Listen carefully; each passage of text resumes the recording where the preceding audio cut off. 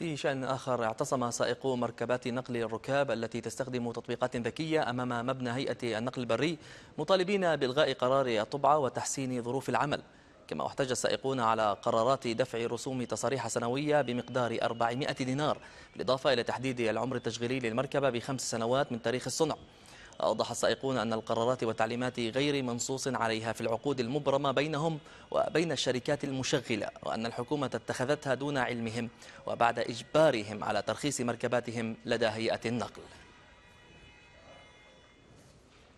وبهذا الشأن قال المدير العام لهيئة تنظيم النقل البري بالوكالة زاهي بن سعيد إنه تمت مناقشة جميع الطلبات المقدمة من قبل سائقي مركبات النقل الذكية. كما أوضح بن سعيد أن الهيئة أمهلت سائقي المركبات شهر لوضع طبعة على مركباتهم. مطالب السائقين كانت اليوم آه، زي ما حكيت هي آه، بتتلخص في زيادة العمر التشغيلي للمركبات اللي بيعملوا عليها بالإضافة إلى إلغاء الطبعة اللي تم إقرارها بالتعليمات المعدلة اللي صدرت أخيرا.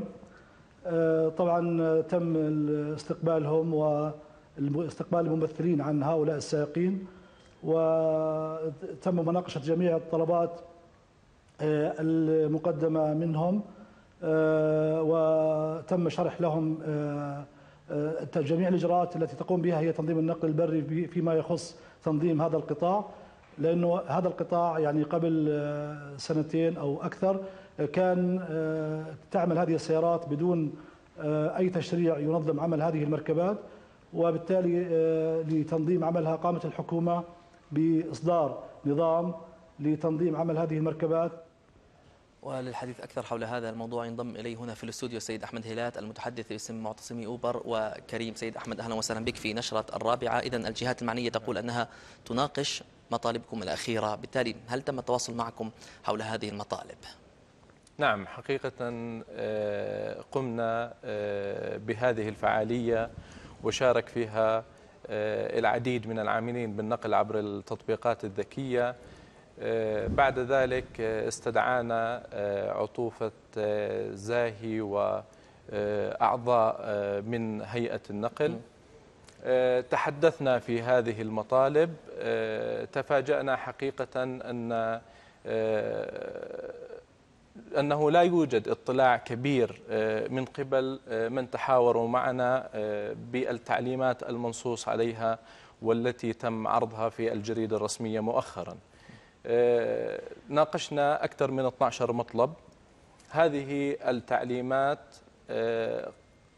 تم إقرارها آه، بتغييب العاملين بالنقل عبر التطبيقات الذكية ودون الرجوع إليهم ودون الحديث معهم أو حتى التشاور معهم. الذين تم التشاور معهم هم آه، أصحاب الاستثمار يعني آه، كريم وأوبر وأصحاب مكاتب التاكسي والعاملين أيضا على التاكسي. لكن مع تغييب فئة الكباتن اللي إحنا بنسميهم الكباتن اللي هم العاملين بالنقل عبر التطبيقات الذكية. كانوا مغيبين تماما عن هذه التعليمات.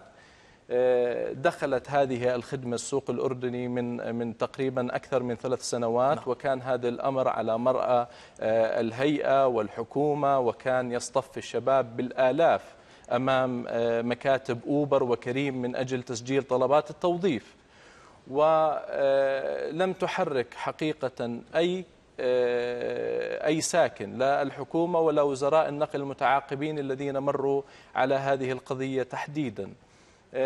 بعد ذلك أصبحت التعليمات تتوالى تباعا بالموافقة وإعطاء الترخيص المبدئي للشركات التي تقدم هذه الخدمة خدمة التطبيقات. آه، ثم آه، يتفاجأ العاملين بالنقل عبر التطبيقات الذكية أنهم بعد أن وحلوا بالقروض وبعد أن آه، طيب. نعم طيب أستاذ أحمد في هذا السياق أبرز المطالب يعني هناك طالب جديدة هي قضية الطباعة، ما المشكلة بقضية الطباعة؟ يعني البعض يقول إنها مهمة للغاية لأنها تميز السيارات العادية عن السيارات التي تعمل مع أوبر وكريم، يعني معظم الشباب وقفوا زي ما نحكيها في العامية كل واحد معه فورد فيوجن أو هونداي سوناتا يتم نعم. توقيفه على أساس أنه نعم. أوبر وكريم بالتالي ما المشكلة في هذه النقطة بالتحديد نعم الطبعة سوف تخلق تخلق مشكلة جديدة في في في القطاع م. الآن ما المشكلة؟ الفكرة الفكرة من العمل على التطبيقات الذكية هو استغلال السيارة الخاصة من أجل زيادة الدخل ونضع خطين تحت كلمة السيارة الخاصة يعني السيارة تحت صفتها الخصوصية التي تم دفع الجمرك للسيارة على أساس الصفة الخصوصية لها طيب. بالتالي وضع الطبعة وضع الطبعة يتيح المجال للعاملين بالنقل عبر التطبيقات الذكية أنهم يشاركوا سائقين التاكسي ب آه، آه، آه، يعني تقديم هذه الخدمة للعملاء الموجودين على الشارع الذين لا يستخدموا التطبيقات نعم. يعني الآن العديد من الكباتن يتحدث بأنه عندما يقوم بتوصيل عميل إلى وجهة معينة ويكون أحد ينتظر تاكسي أجرة يسأله إن كان يعمل بالنقل مع أوبر أو كريم و طيب. يعني فبالتالي هذا هذا أمر، الأمر الآخر الأمر الآخر في انتهاك للخصوصية من حيث أن هذه السيارة على الأغلب هي سيارة العائلة، قد يستخدمها آه، آه، الأخ، قد تستخدمها الأم خارج سياق العمل. نعم خارج سياق العمل. وبالتالي آه، يتعرضوا للإيقاف من شرطة المباحث والمخالفات المتكررة. طيب أحمد ولكن استغل الوقت كنتم تريد بعيدا عن المطالب وهي تتخص في قضية الخمس سنوات طالب أخرى تحسين ظروف العمل كيف تقصد تحسين ظروف العمل؟ هل هي بهذه المطالب الخمس المقصود؟ نعم. آه، بهذه النقطة في التحديد تحسين ظروف العمل المقصود فيها المطالب التي تتحدثون عنها نعم. هناك مجمل المطالب نعم. مجمل المطالب وصلت تقريبا إلى 12 آه، من هذه المطالب زيادة العمر التشغيلي. اليوم آه، معظم العاملين بالنقل عبر التطبيقات الذكية أخذوا قروض عمرها سبعة سنوات أو ثماني سنوات. أعطوهم عمر تشغيلي خمس سنين.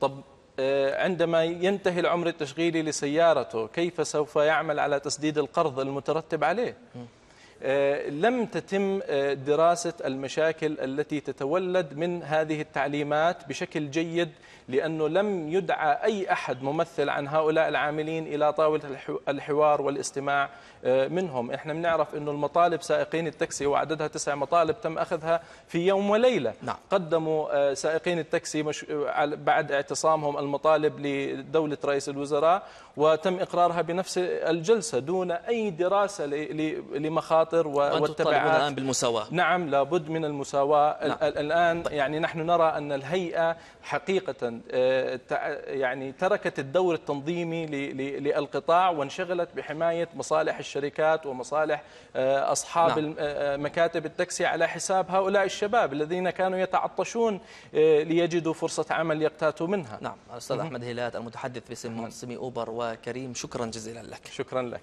شكرا.